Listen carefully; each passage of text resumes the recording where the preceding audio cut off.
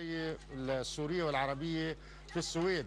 ما بعرف إذا كنتوا عم تتابعونا آه، الآن بعد آه، القرار العربي بوقف البث الفضائيات. السورية فضائية. نعم. عم تتابعونا في هذه اللحظات؟ يا هاي هاي. ألو. ألو ألو.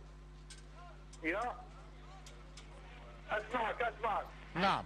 يعني كنت أسألك يعني آه، كيف تلقيتم خبر وقف البث للفضائيات السورية وأنتم في السويد وهل يعني يتاح لكم أن تتابعونا ويعني ما موقف السوريين من عمل كهذا؟ والله هذا العمل هذا هذا العمل اللي عملوه يعني يخلينا أكثر أكثر تشبثا القنوات الفضائية السورية. نحن بالحقيقة بأوروبا ما أثر علينا كثير باعتبار أن الهدنة بنقدر نتفرج على الفضائية السورية. آه يعني اللي اللي تأثرنا فيه بس ال ال الأخبارية السورية. وطبعا نحن عندنا بأوروبا يعني كون التقنيات موجودة عندنا نقدر نحط نحن آه، آه، شاشة كبيرة.